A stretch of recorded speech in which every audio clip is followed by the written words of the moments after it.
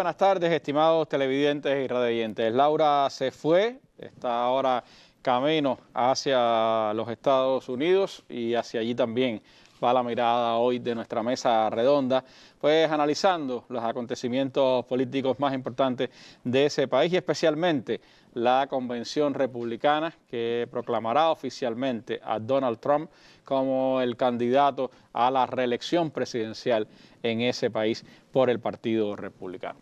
Estaremos analizando el acontecimiento, su impacto, las noticias alrededor de este hecho y otros asuntos que tienen que ver con los dilemas electorales, no solo en el ámbito presidencial, sino también en el Congreso de los Estados Unidos. Me estará acompañando esta tarde, será un verdadero diálogo, el doctor Ernesto Domínguez López, profesor titular e investigador del Centro de Estudios Hemisféricos y sobre Estados Unidos de la Universidad de La Habana. Nuestro saludo al colega Reinaldo Taladrí, que debía estar con nosotros, lamentablemente tuvo algunos problemas personales y no podrá pues, acompañarnos en esta emisión. A ustedes los invito a que nos acompañen en esta mirada a los Estados Unidos cuando el candidato Trump está a punto de ser proclamado ya oficialmente, aunque de hecho es una noticia que no será noticia en los Estados Unidos.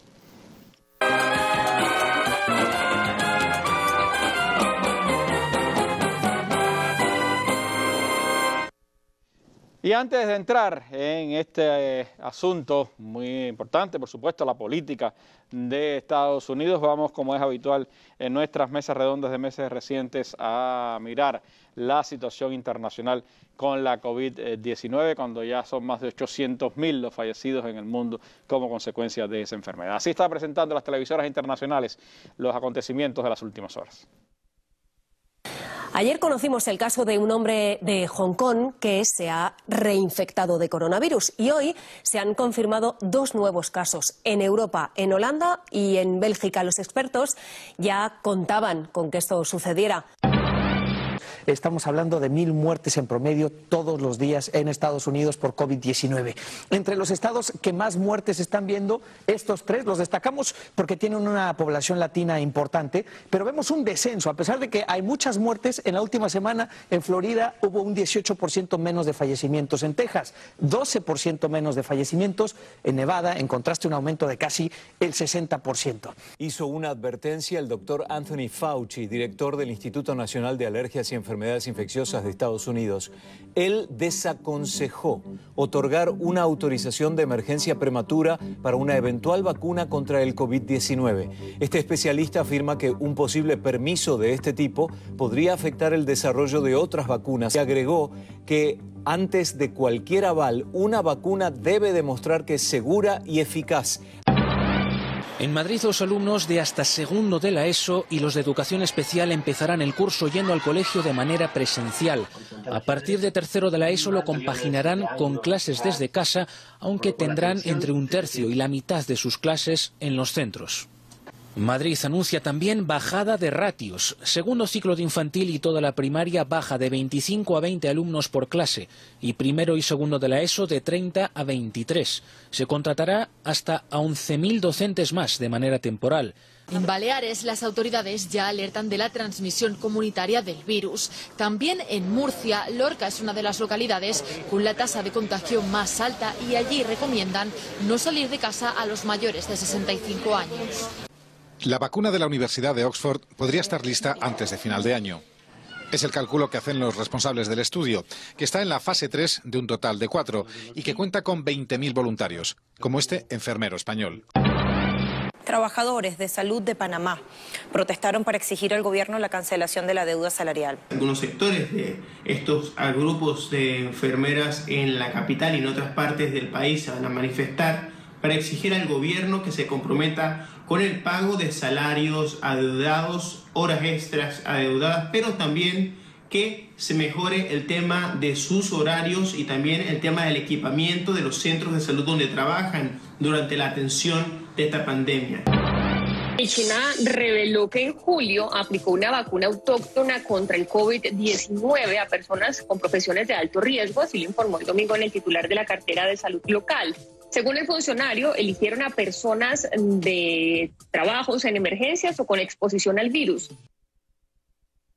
Bueno, así lo están reflejando las televisoras internacionales. Las informaciones, las estadísticas en este momento están señalando que más de 23 millones 718 mil 500 personas han sido contagiadas con la COVID-19 desde el inicio de la pandemia. Y el número exacto de muertes en este minuto, las contabilizadas oficialmente, son 814 mil 839 muertes. El mundo va irremediablemente camino casi a un millón de fallecidos como consecuencia de esta enfermedad que tiene epicentro, sigue teniendo epicentro en las Américas, aunque se ha ralentizado ciertamente de alguna manera el crecimiento, pero siguen siendo Estados Unidos, Brasil, Perú, Colombia, Argentina, eh, los países que en, este, en estos últimos tiempos están mostrando la mayor cantidad de eh, infectados por 100.000 eh, habitantes.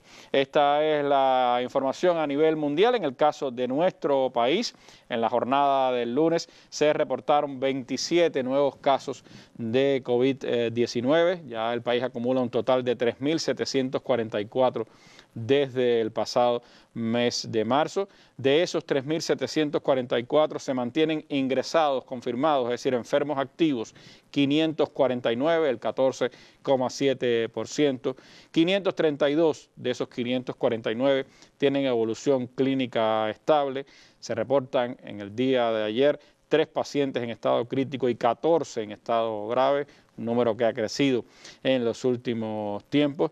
No hubo fallecidos en la jornada de ayer, como se comenta, ya son 91 los que se han acumulado en el país y hubo 23 altas en el día, con lo que se acumulan 3.102 pacientes ya recuperados, el 83% de los que han contraído la enfermedad.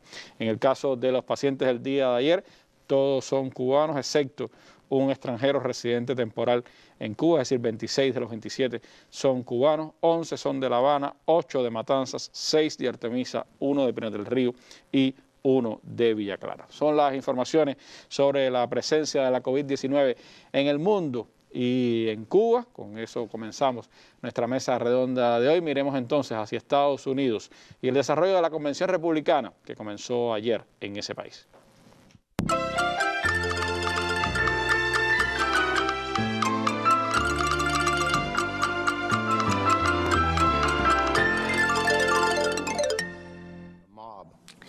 Patricia y Mark McCloskey, este matrimonio de San Luis, se hicieron famosos cuando apuntaron con sus armas a los manifestantes contra el racismo que pasaban frente a su mansión. Los imputaron por hacerlo y ahora el Partido Republicano los ha invitado a dar un discurso en su convención. La primera noche de convención republicana ha dado voz a ciudadanos que alertan del peligro si Trump no es reelegido. Un exiliado de Cuba que relaciona a los demócratas con el comunismo. Una candidata al Congreso que dice que los demócratas han arruinado su ciudad, Baltimore, y que se equivocan si creen que todos los negros van a votar por ellos. En una convención virtual por la pandemia, familiares y aliados cercanos han hecho una defensa encendida del presidente. Trump es el guardaespaldas de la civilización occidental. En el Partido Demócrata ahora es, está de moda decir que los Estados Unidos es racista. Eso es una mentira. Los Estados Unidos no es un país racista.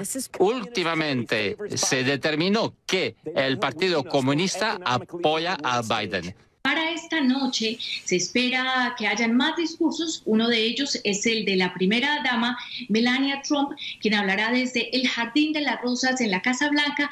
También hablarán los otros dos hijos del presidente Donald Trump, Eric y Tiffany, al igual que se espera que hable el secretario de Estado, Mike Pompeo, quien ha recibido críticas por esta posible intervención, ya que dicen que es un secretario, pertenece en este momento al gobierno, es un funcionario y por tal razón dicen que no debería hablar en esta convención republicana. Bueno, así están reflejando varias televisoras lo que ocurrió en la primera jornada de esta convención republicana que comenzó en el día de ayer para proclamar a Trump como el candidato de ese partido a la reelección en las elecciones del próximo noviembre en los Estados Unidos. Esta convención, Ernesto, es virtual, como lo fue la, convención demócrata. Algunos dicen que sin tanto glamour como la que le dieron los demócratas detrás con su efecto, etcétera, armaron detrás de la, de la convención. Pero la realidad es que se convierte en este momento en el principal hecho político de los Estados Unidos. ¿Cuánto le puede aportar este foro político al Partido Republicano en su empeño por la reelección? ¿Qué significa el hecho de que se diga Todavía no ha sido totalmente confirmado, pero se diga que el presidente Trump rompiendo todas las reglas, hará su discurso de aceptación desde la Casa Blanca, el centro del poder de los Estados Unidos, y algo inédito hasta ahora que un presidente en ejercicio haga su proclamación también desde el lugar de, gobierno. ¿Qué elementos distinguen a esta convención republicana? Sí, lo primero, eh, mandarle un saludo a Ladrí y, desear que resuelva los problemas, se pueda resolver los problemas prontamente, lo que ha confrontado. Eh, respecto a lo que me pregunta, mira, este es el show político más importante de momento. El, proceso o la noticia política más importante, ya eso es más debatible, ¿no? ¿Qué cosas es lo más importante que está ocurriendo en política? Pero definitivamente el show político, lo que más llama la atención, eh, es esta convención en este instante y esa es justamente la relevancia que tienen las convenciones nacionales, el hecho de centrar la atención del público, al menos de una parte importante del público, en torno a la candidatura que presenta un partido. O sea, cada momento, eh, no por gusto, no coinciden las dos eh, convenciones, siempre se separan por unos días, pero se separan. Cada una de ellas típicamente genera un aumento en el apoyo o en la intención de voto por la candidatura de ese partido inmediatamente después. No es un efecto necesariamente duradero, pero es un efecto que se percibe. Muchas veces hay algunos, eh, algunos votantes indecisos todavía que se deciden en ese contexto. Ya hablábamos la semana anterior que en, la, en las convenciones, además de eh, elegir o, nominar oficialmente al candidato de cada partido a la presidencia, el candidato a la vicepresidencia, también se aprueba una plataforma que es curiosamente esta es una de las peculiaridades que, que tuvo la convención republicana de este año. Normalmente esa plataforma es un programa, más allá de que es debatible el impacto que, que tenga ese, ese programa del partido en el mandato futuro si funciona realmente como un programa de gobierno o es solamente una plataforma una plataforma de campaña o si realmente la gente lo lee o no.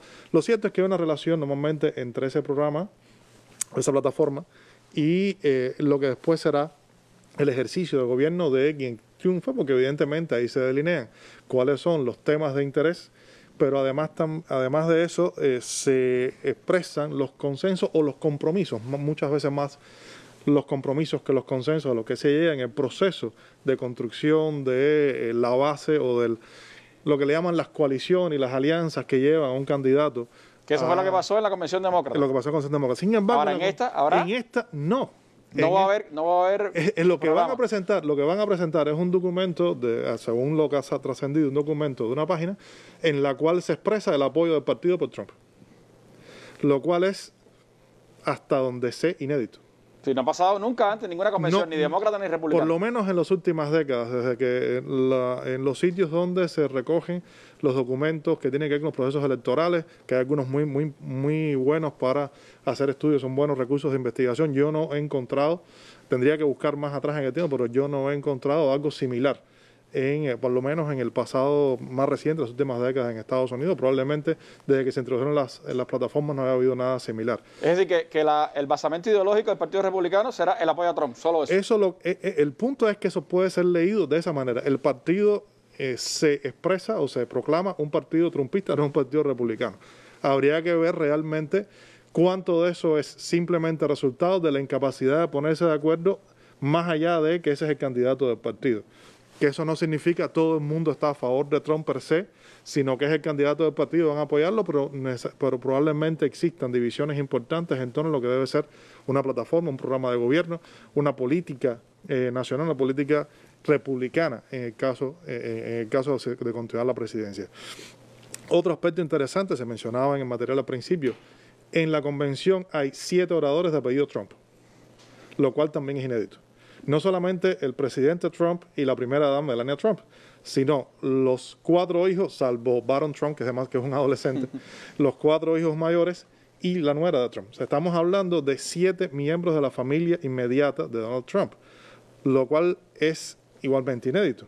Normalmente la primera dama o la candidata a primera dama se presenta en la convención, sí, el, por supuesto, el nominado se presenta, sí, pero ese número igual habría que explorar si en otros momentos hubo Algo, algo similar, pero eh, una vez más parece como algo realmente inédito. También se dice que, eh, que contrario a todas las normas que se hasta hoy existen en las convenciones, los, eh, cargos, del, los cargos del gobierno, es decir, secretarios de, diferentes carteras, normalmente no hablan en las convenciones porque están en ejercicio de poder. Esta vez también eso se ha roto. De hecho, hay por lo menos, está, se, habla de Mike Pompeo, secretario de Estado, pero está Ben Carson, que es secretario de Desarrollo Humano de, eh, eh, de Desarrollo de Desarrollo Humano, el HOT, el, departamento HOT en Estados Unidos, eh, que además fue candidato a la presidencia, a candidato a la nominación del Partido Republicano en 2016, fue uno de los que compitió por la nominación. Pero además, si se concretase, vi algunas noticias de que finalmente no iba a ser así, pero el hecho de que Trump se plantease la idea de hacer su discurso de aceptación de la nominación desde la Casa Blanca está en la misma línea, porque se supone que el gobierno el gobierno central, el gobierno en Washington, el Ejecutivo en particular, no tenga una posición partidista en este tipo de procesos. No está prohibido, no es ilegal, pero va en contra de las prácticas establecidas. Sabemos las tradiciones tienen un peso, son normas también, aunque no, aunque no sean leyes. Una de las cosas que ha hecho esta administración es romper con un montón de normas que no son legales, pero que han regido el comportamiento de los gobiernos estadounidenses y de la política estadounidense durante mucho tiempo y esta administración simplemente ha roto con, con esas tradiciones, con esas normas. Esto no es otra cosa que otro momento de esa ruptura con esa tradición. Lo cual, dicho sea de paso, le habla a su base también en el sentido de que este sigue siendo un presidente, un candidato, en este momento presidente candidato, que no le importa seguir lo políticamente correcto, sino que simplemente hace lo que tenga que hacer para lograr los objetivos que se ha planteado, que es como se ha visto a Trump desde el principio, lo cual es parte integral de su imagen como el candidato que sigue siendo aparentemente outsider, eh, un externo al establishment político, a ese núcleo duro, al pantano de Washington y demás, que sabemos que él es parte integral de las élites de poder en ese país, siempre lo ha sido, sabemos que en términos de eh, limpiar o drenar el pantano no lo ha hecho, pero sigue siendo la imagen que se proyecta en este contexto. También es muy interesante en la, en la convención que participaron, hay tres oradores, tres o cuatro oradores que son eh, afroamericanos. Ben Carson es uno de ellos, hay un senador, está esta candidata por Baltimore que se presentó aquí y hay un, está planificado, no sé si habrá hablado finalmente o no, un futbolista, un jugador de fútbol americano lo cual no deja de tener implicaciones. Recordemos toda la discusión, toda la polémica eh, en, torno, en, torno al tema de Colin Kaepernick, este que está en pantalla ahora mismo.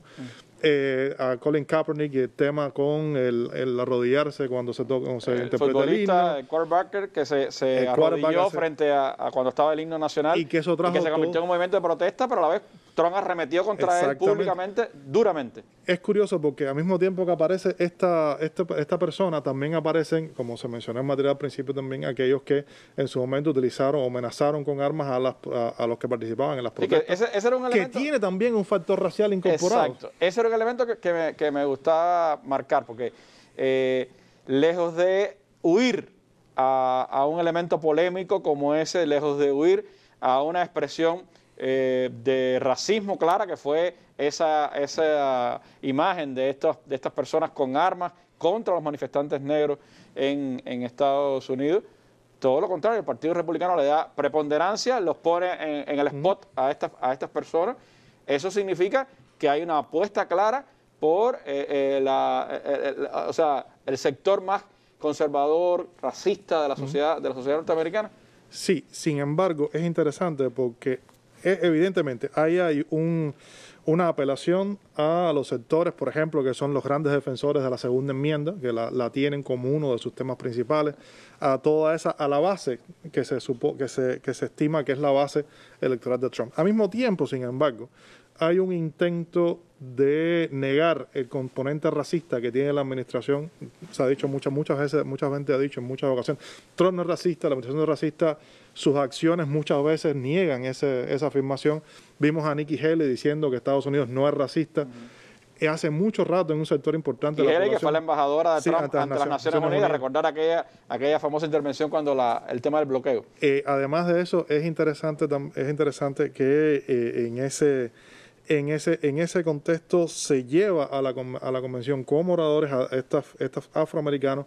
También hay un líder de la nación navaja, lo cual es interesantísimo. Recordemos que no hace, hace algún tiempo Trump recibió a algunos veteranos de guerra navajos que fueron de los que fueron vitales en mantener eh, segura la comunicación, las comunicaciones eh, de guerra en Estados Unidos y que los llevó a, un- a una, a una habitación con una foto de Andrew Jackson, lo cual en la memoria de los pueblos indígenas y el tratamiento de los pueblos indígenas es realmente de muy mal gusto porque Ofensivo. Jackson fue básicamente eh, contribuyó al genocidio indígena y, y hay que decirlo con esas palabras, un genocidio eh, de los nativos americanos en Estados Unidos en el desplazamiento de ellos desde, desde Georgia, el famoso sendero de las lágrimas y demás. Y además fue cuando habló de Pocahontas, refiriéndose a Isabel Warren. O sea, está esto presente. Hay eh, una, un recurso a tratar de negar el racismo y al mismo tiempo apelar a aquellos sectores que son claramente racistas, aun cuando se trata de hacer en cierta medida con un código, lo cual es una contradicción, porque una de las cosas que ha hecho esta administración es tratar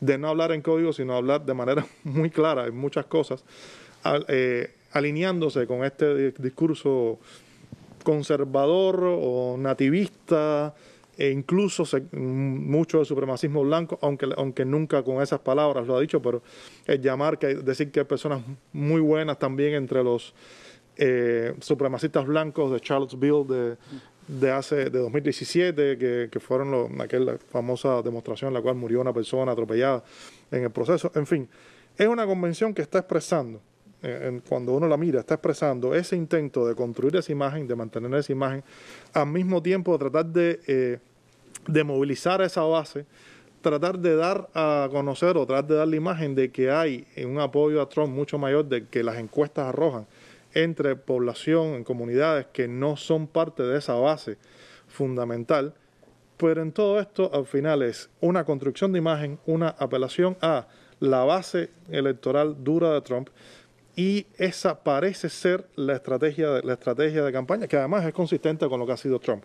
Reforzar la atracción de la base electoral, el voto duro de Trump, y al mismo tiempo, con otros mecanismos que no están en esta convención, tratar de desestimular o, llegado el caso, suprimir el voto de su rival.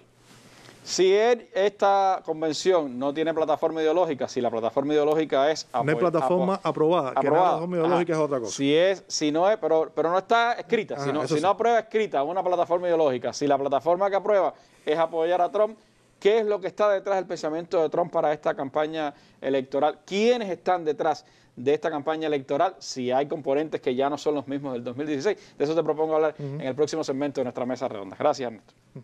La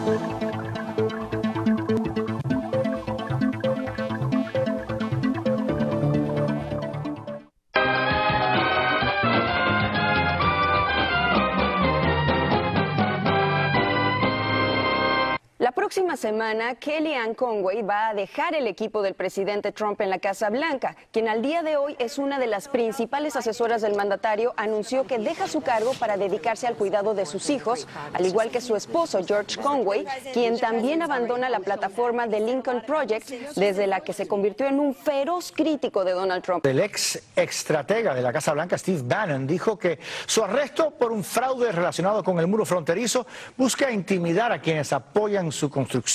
Luego de pagar una millonaria fianza y salir en libertad condicional, Bannon se refirió al tema en su podcast. El ex consejero del presidente Trump afirmó que el muro de México es esencial para la soberanía estadounidense y que seguiría promoviéndolo. Bannon está acusado de quedarse con parte del dinero donado para ayudar a la construcción de una muralla. En medio de la controversia por el servicio postal, su director compareció virtualmente ante un comité del Senado. Ante la presión prometió que las boletas de noviembre serán prioridad y están en buenas manos. Mientras el presidente, contradiciendo al director del servicio postal, hoy insistió en que no podrá transportar millones de boletas. Pero el director de correos, empresario y donante republicano volverá al Congreso tan pronto como el lunes para ser interrogado en persona. Y es ahí donde se esperan los cuestionamientos más duros. Bueno, son algunas noticias diversas que han pasado en las últimas jornadas, del viernes hacia acá, y que apuntan a elementos que me parecen interesantes, Ernesto, para, para analizar. Por un lado, el hecho de que eh, elementos esenciales que llevaron a Trump al triunfo del 2016, pues están, pudiéramos decir, eh, puestos sobre el tapete. Collian eh, fue parte, fue estratega fundamental de la, de la campaña electoral de Trump, ahora se, se retira. Steve Bannon era el ideólogo detrás de la campaña de Trump, está ahora pues precisamente en no muy buena situación con la, con la ley y por el otro lado pues Trump reformó todo su equipo electoral después de que comenzó bastante mal la campaña tras el, tema de la, de la pandemia. ¿Qué es lo que está entonces hoy centrando la campaña electoral de, Trump? ¿Cuáles son los mensajes que transmite eh, esta campaña electoral? Eh, y pienso, por ejemplo, en, el análisis que hacía un analista en la BBC, White Aires, que decía que el país cambió, pero el presidente no ha cambiado su mensaje. ¿Es exactamente así? Bueno, eh, primero, todo esto que aparecía aquí, y habría, esto hay que sumarle, a esto que aparece hay que sumarle, por ejemplo, los casos de los que fueron directores de la campaña, los distintos directivos de la campaña de 2016, Paul Manafort, eh, propio Michael Flynn, que fue una figura importante en aquel momento. Bajo la justicia. Ajá, que, los ha, que ha perdonado Trump algunos de ellos, lo cual ha despertado también eh, reacciones negativas en muchos sectores, porque evidentemente es un uso de las prerrogativas presidenciales. Se le dicen el autócrata Trump.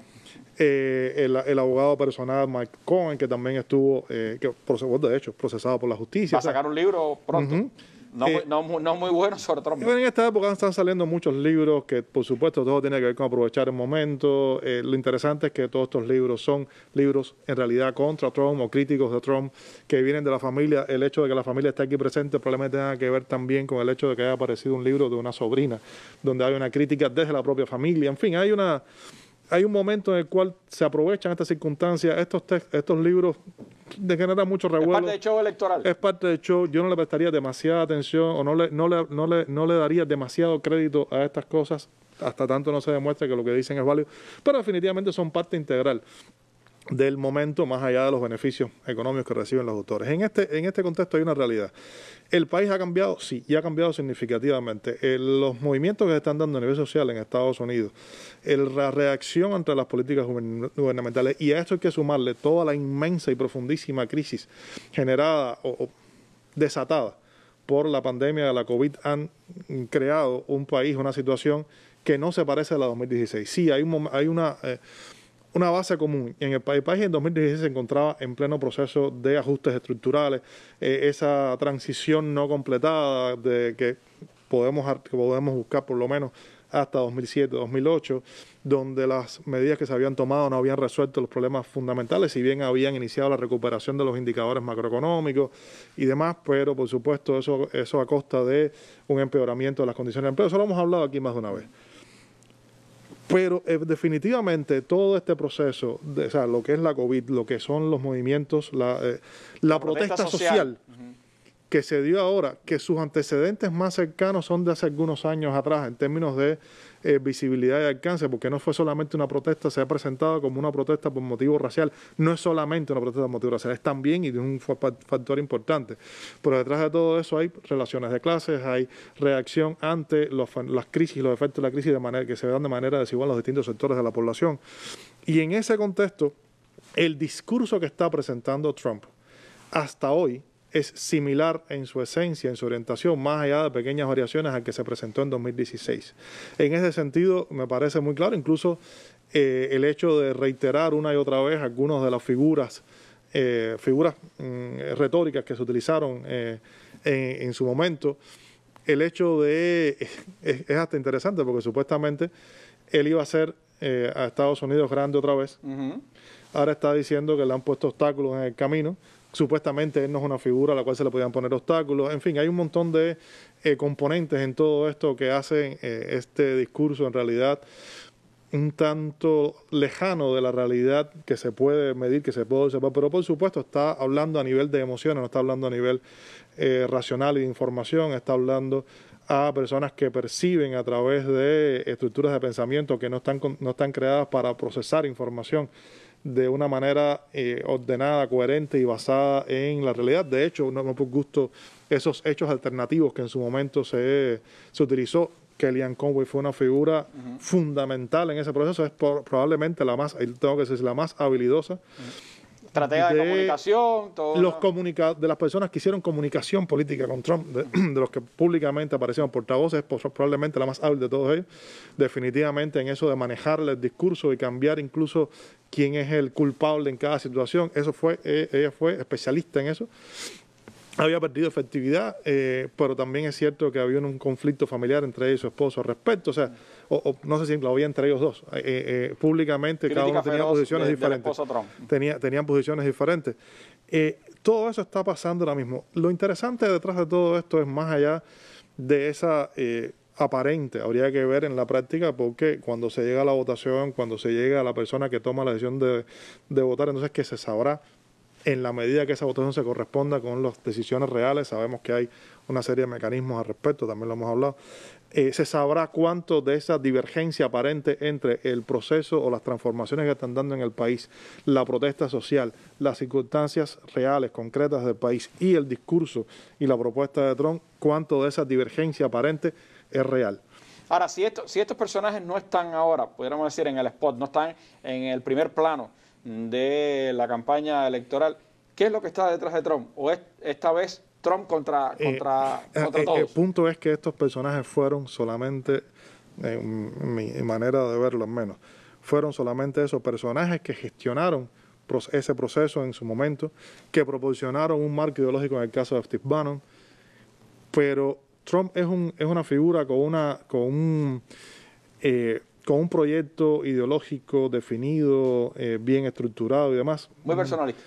Yo no estoy muy seguro de que sea así. Pero además es interesante ver cuáles son los miembros del gabinete y del entorno de Trump que no han cambiado, porque una de las características de la administración Trump es el cambio continuo de figuras, pero hay algunos que no han cambiado. Y eso da algunas pistas. Está hablando de Steve Mnuchin, por ejemplo.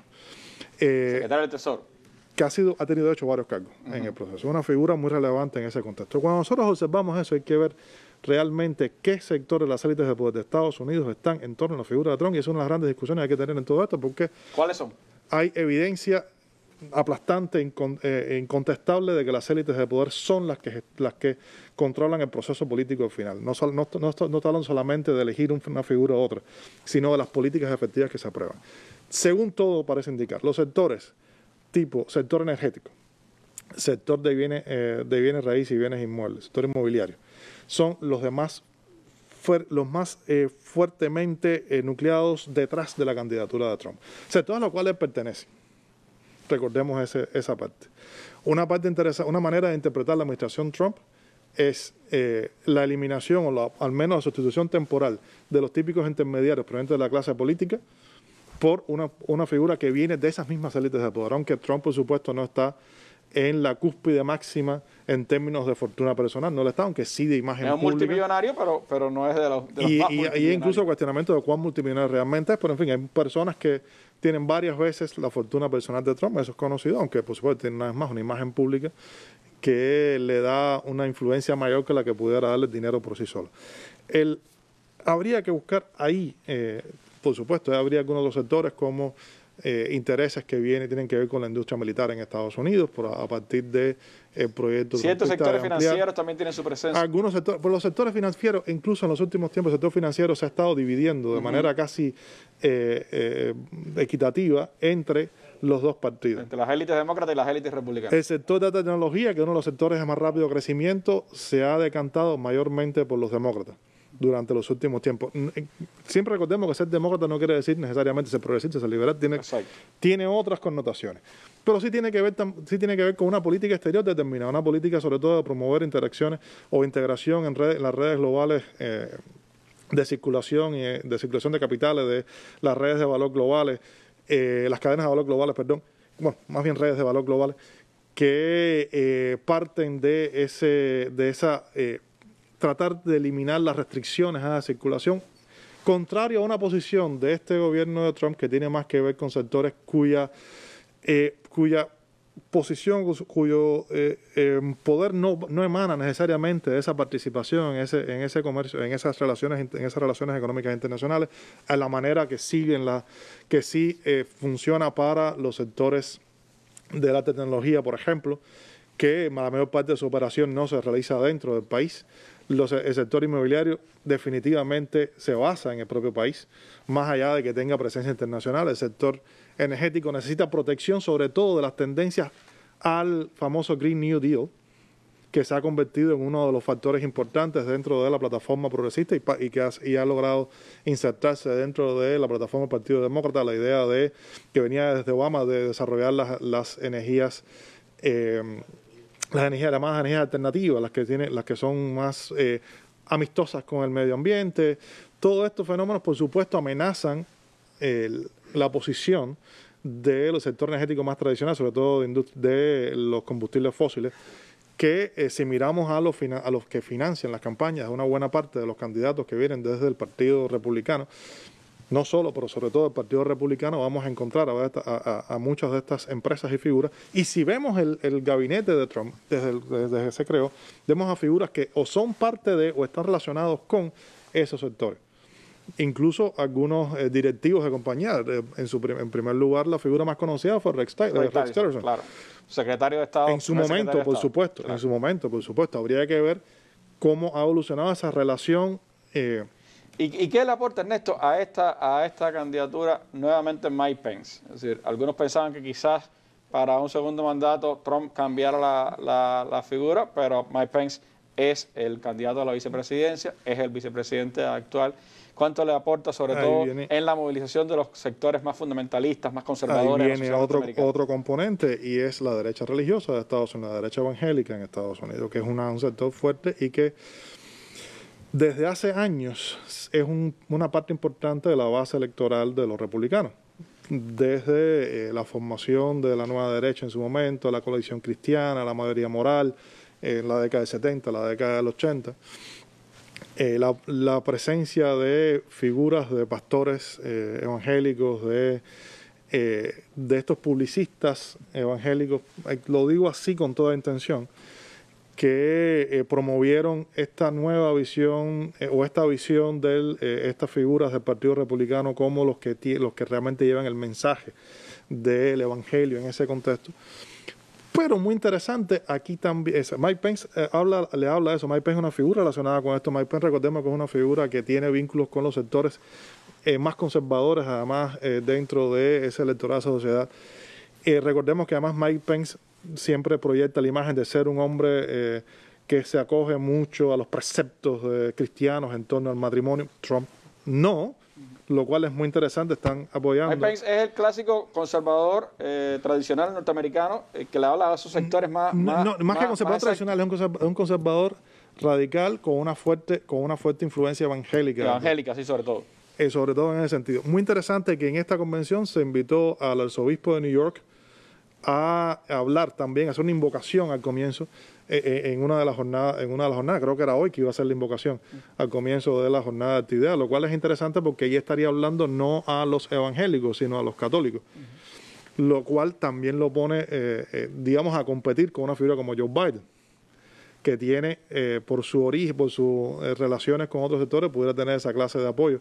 En fin, estamos hablando de que en esta convención, en uno de los factores que se incluye en este contexto, es la convocatoria a eh, los sectores o el tratar de apelar a los sectores eh, que rigen su comportamiento político por, eh, vamos a decirle, aquellos que ellos consideran que son los portadores de la fe, de su fe o de su interpretación de la fe, fundamentalmente la fe cristiana. Recordemos además que la propia persecución, vamos a decirle, las medidas tomadas contra los musulmanes, por ejemplo, no solamente pasan por considerar a todos los musulmanes como terroristas, sino que pasan también por el conflicto que se ha dado en determinadas ocasiones o por los debates públicos en torno a el carácter cristiano o no de eh, los Estados Unidos de su fundación, que eso es parte de los fenómenos que se discuten en el, escenario estadounidense, donde se, donde se rechaza a muchos de estos sectores más radicales rechazan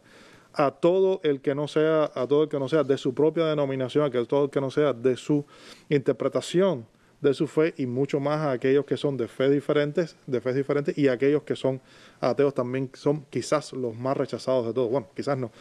Demostrado por los distintos son los más rechazados de todos y son hasta temidos. En ese contexto está tratando de aportar, o sea, Mike Pence aparece como una figura que en alguna medida compensa los, las deficiencias que puede tener Trump. Es un hombre con divorcios, con escándalos, que no tiene nada que ver con la moral cristiana que supuestamente eh, defienden esas bases y que debería ser lo que eh, el presidente mantuviese.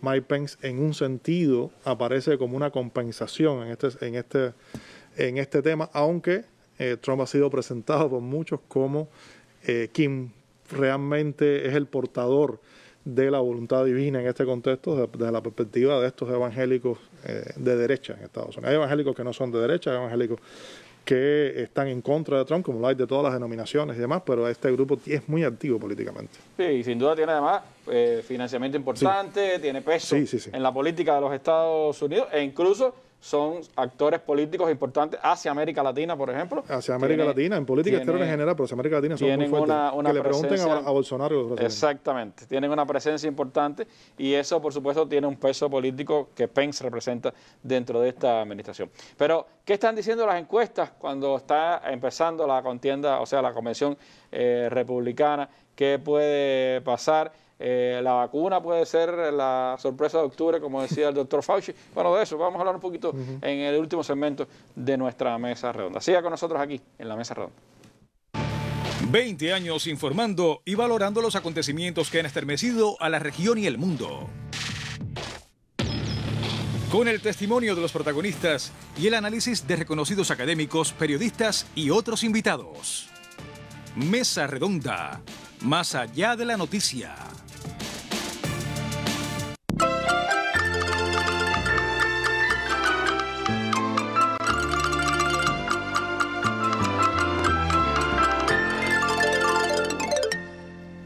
Bueno, en una información de las últimas horas en Estados Unidos, el gobernador de Wisconsin, Tony Evers, ha declarado el estado de emergencia en ese estado de los Estados Unidos, después de que varios comercios del condado de Kenosha sufrieron saqueos en el marco de disturbios registrados después de que un hombre negro recibiera siete disparos por la espalda a manos de un agente de policía. En lo que ha sido el segundo día consecutivo de protestas, Evers ha desplegado más de 250 agentes de la Guardia Nacional en ese condado y ha dicho que no permitirá que continúe el ciclo de racismo e injusticia sistemática en el país. Sin embargo, ha declarado este estado de, de emergencia en el estado de Wisconsin. Así estaba reflejando las televisoras pues norteamericanas en las últimas horas los acontecimientos desde el domingo en que se dio este, este asesinato y lo que ha ocurrido, eh, este, este tiroteo y lo que ha ocurrido en las últimas horas.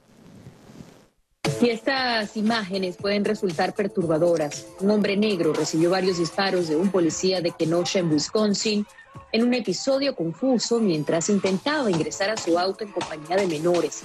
Según el gobernador Tony Evers, el hombre se llama Jacob Blake y está en un hospital en condición grave.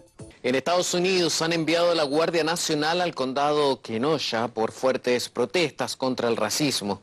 El gobernador de Wisconsin anunció que los guardias protegerán la infraestructura y garantizarán la seguridad de los bomberos. Ya la segunda noche de disturbios con edificios y coches incendiados.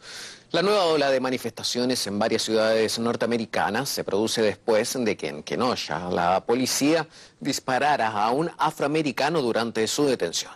De igual manera, alrededor de 500 manifestantes marcharon por la Quinta Avenida de Manhattan en Nueva York, en pleno corazón de esta ciudad ese símbolo comercial para sumarse al rechazo del ataque policial contra Jacob Blake que ocurrió, como referíamos, en el estado de Wisconsin. Los participantes de esta jornada de marcha solicitaron la dimisión del presidente Donald Trump, también del vicepresidente Mike Pence, motivado a que sus políticas consideran los manifestantes son responsables de estos acontecimientos. Bueno, esa es parte de las noticias de este momento en los Estados Unidos, estado de emergencia en Wisconsin después de este tiroteo contra Jacob Blake, este afroamericano que está en una situación bastante grave. Se dice que de hecho está sufriendo o puede eh, quedar paralítico después de siete disparos frente a sus tres hijos, como vieron en las imágenes, y que se ha convertido en una imagen que recorrió todos los Estados Unidos y que volvió a movilizar a las personas a la calle después de que había habido un periodo, Ernesto, un poco de, podríamos decir, de, menos movilización en Estados Unidos. Este nuevo eh, crimen vuelve a eh, movilizar a las bases eh, afroamericanas y de otros sectores de Estados Unidos, desde Nueva York hasta Wisconsin, pasando por, otro, por otros estados, en medio de esta convención republicana. ¿Cuánto puede seguir hechos como este, pues desligando a esos sectores minoritarios, entre comillas, de los Estados Unidos, de la política republicana? ¿Qué impacto pueden tener de cara a la conversión? Para después entrar un poquito en el tema de las encuestas. Sí, mira, eh, lo primero, eh, esto es un acontecimiento que por sí solo hubiera podido tal vez despertar toda esa reacción, pero el problema que se produce en un contexto donde hay toda una acumulación de muchos años, donde hay una movilización muy reciente que si bien, como dices, había, eh, había bajado mucho el nivel de movilización, está latente y obviamente cuando se produce un acontecimiento de esta naturaleza, que además el hecho de que haya una afirmación que se haya que, se haya hecho pública. Video claro de lo que video que evidentemente ahí no esa persona a lo mejor no estaba haciendo caso, pero no estaba resistiendo el arresto. Eh, y recibe disparos por la espalda. No estamos hablando de alguien que estaba peleando con el policía, en fin, de acuerdo a lo que se ve en la imagen. Eh, una cosa, es una cosa importante. Esto sucedió en Wisconsin, estado que tengo la, eh, la suerte de haber conocido bastante bien. Y de uno de los estados de esos del medio oeste, son esos estados que tienen una mayor proporción de población blanca en los Estados Unidos, donde las ciudades, en este caso Milwaukee o Madison, que es la capital del estado, o sea, de la, Universidad de Madison, son muy prodemordas y liberales, sin embargo, en otros territorios, en otras áreas de esos estados, que Noche es uno de ellos, eh, tienden a ser mucho más conservadores, tienden a ser eh, de hecho, el voto eh, pro-Trump de 2016 salió de esos, de esos territorios, que noche eh, de ahí se incluso hubo una, se dio un, se organizó, fue, si no recuerdo, la CNN organizó una, una, un encuentro entre Bernie Sanders y varios de los votantes pro-Trump de 2000, que votaron por, por, Trump, no, sino personas que votaron por Trump en 2016 y, y fue muy interesante por la manera en la cual ellos hablaron de qué es lo que lo había llevado a votar por Trump en ese contexto, no necesariamente porque fueran republicanos o no necesariamente porque fueran favorables a Trump como persona, sino que los convenció un discurso que le proponía un cambio a una situación en la cual ellos viven. Y en medio de todo ese contexto es que se produce, o sea, en un lugar como ese es que se produce este, eh, este incidente con todos los eh, los terribles incidentes que tiene todas estas implicaciones. hay, un video más fuerte que, que, hemos visto aquí, que realmente firmado por una mujer donde se ve como son varios policías sobre él y le tiran así a, a y, la, la, verdadero problema y la pregunta que planteabas es, eh, es, buena, ¿no? O sea, ¿cómo va a impactar esto sobre las elecciones? Porque una parte tiene que ver con la movilización del voto de las distintas minorías y el voto liberal, que no solamente son las minorías las que las que estarían en este punto, sino todo el sector de la población. se ha movilizado muchas muchas personas. Una de las características, una de las características, una de las características que ha tenido el movimiento de los últimos meses a partir de, eh, de la muerte de, George Floyd, ha sido la participación muy, muy numerosa de población blanca en ese, en ese de personas blancas en ese proceso que no se parece a la composición, por ejemplo, las protestas de, los 90 con, con Ronnie King o las protestas de Baltimore de hace... Que eran fundamentalmente afroamericanos. Fundamentalmente aquí había una mayor diversidad.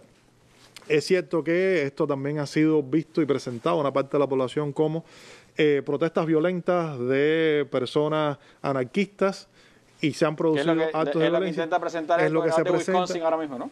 El gobernador de Wisconsin, que además es demócrata. O sea, eh, eh, no necesariamente lo esté presentando esa perspectiva de cara a las elecciones.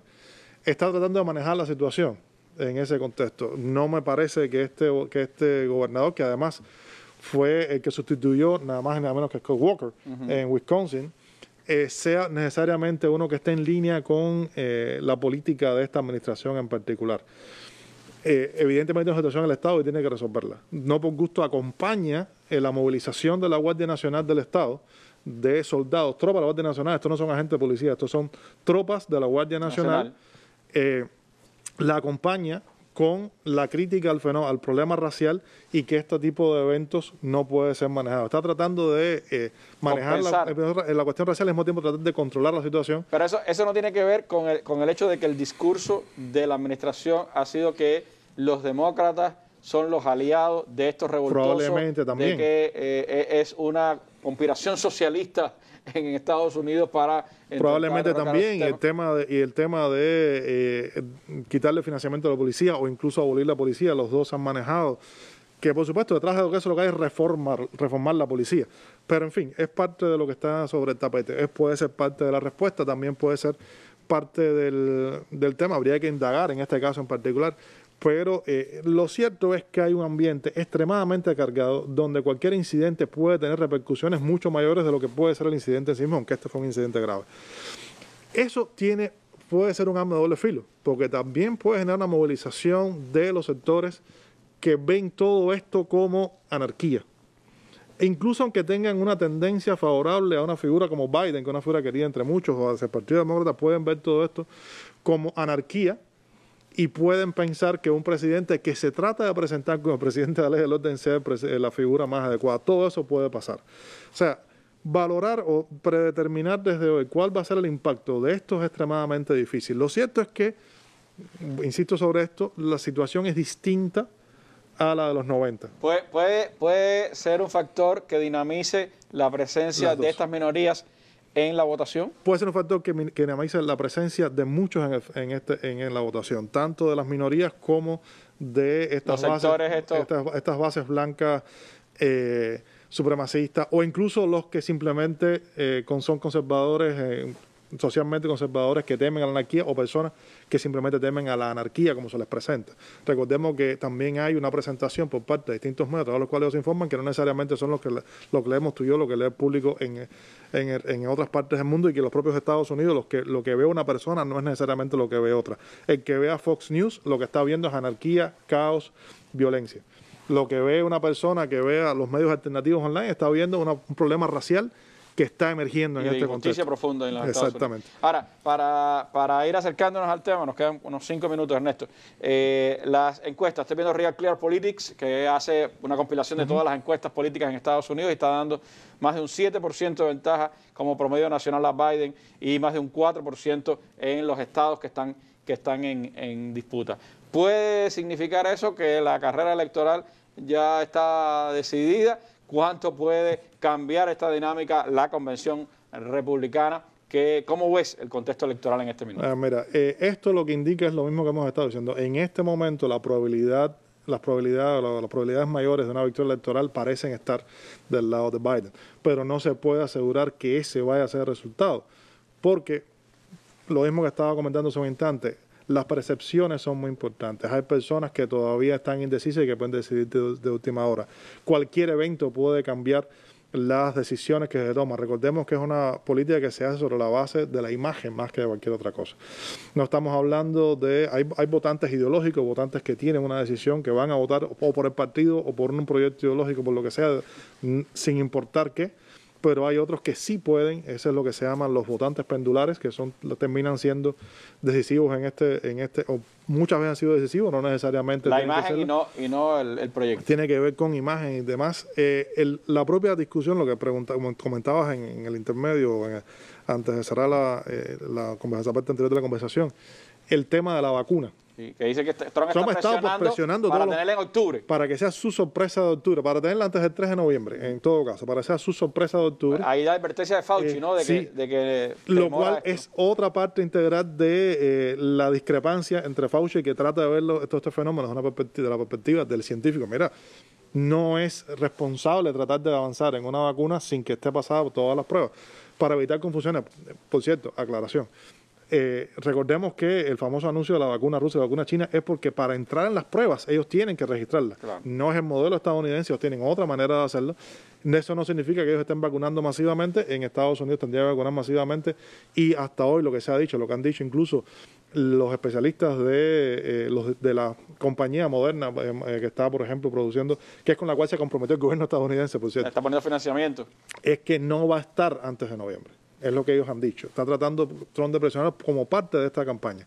El punto es que hay muchos factores todavía en juego. Mira, una cosa que preocupa respecto al tema de la pandemia es que en estos momentos parecen estar bajando un poco los nuevos contagios. Sin embargo, ya en octubre, noviembre estaríamos entrando, estamos en otoño, a punto de empezar el invierno, que es la temporada en que aumenta las infecciones respiratorias. Ah. Pudiera ser un nuevo rebrote, un rebrote, o es que en Estados Unidos no ha habido rebrote porque nunca se ha controlado la epidemia. Pudiera ser un nuevo, pudiera ser, ojalá y no realmente, porque estamos hablando una vez más de decenas de miles de personas, cientos de miles, un país que está cercano a 100 millones de casos y sobrepasó los 180 mil muertos por la COVID. Estamos hablando de eh, el uso incluso de la vacuna o de la posible vacuna como una como un componente de la campaña electoral en ese contexto. Estos números pueden variar, pueden variar de un día para otro, pueden variar en el, eh, los dos meses que quedan, tres meses, eh, dos meses y tanto que quedan para las elecciones. Pueden variar, seguro que pueden variar. Eh, no se puede dar por decidido este, esta campaña. Lo sorprendente de toda la campaña, una y otra vez, no sorprendente, sino lo llamativo, es que Trump sigue siendo un candidato viable en este contexto. A, pesar, de, todo. eso. El hecho de que las encuestas hoy, si hoy se hiciera la votación de acuerdo con los polos estos de una victoria cómoda para Biden, no es Trump no tiene posibilidades. No me canso de insistir en esto porque ya este, como se dice en cubano, este perro nos ha mordido otras veces es algo que hay que tomar en cuenta. Tampoco se puede decir Trump va a ganar porque él es invencible. Es exactamente lo mismo porque muchas veces pasa que los votantes piensan algunas de estas cosas y actúan en consecuencia en una especie de profecía autocumplida. Hay personas que van a votar o que han votado por Trump porque piensan que Trump no puede perder aunque no les guste Trump.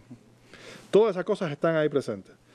Por eso digo. En este minuto, Biden gana las elecciones, tiene más, pero tiene más todavía queda camino, queda camino por recorrer. Lo cierto es que Trump está en su momento político, ahora con la convención, su proclamación como, como candidato, habrá que ver los efectos en las encuestas. La, convención debería subirle un poco.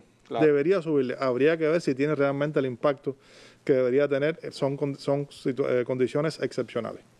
Son temas, por supuesto, para continuar en el análisis. Nos quedan asuntos que yo creo vitales entrando hacia septiembre ya, que tendremos que analizar el tema de cómo se vota en los Estados Unidos, cuál es el, hecho de cómo deciden los estados los sistemas de votación, la inscripción en las votaciones, un grupo de elementos que nos pueden dar una medida de cómo funciona el sistema electoral norteamericano y también, por supuesto, el papel que juega el dinero dentro de todas las campañas electorales. Gracias, Ernesto, por habernos acompañado hoy en nuestra mesa redonda y bueno, mañana los invito a que nos acompañen en una emisión de Cuba Debate en Mesa Redonda. Nos vemos, nos vamos con nuestras imágenes del día. Cuba está en pleno proceso de recuperación tras el paso de Laura por todo el territorio nacional, toda la costa sur del territorio nacional y su salida por Pinal del Río en la noche de ayer. Imágenes del día. Buenas noches.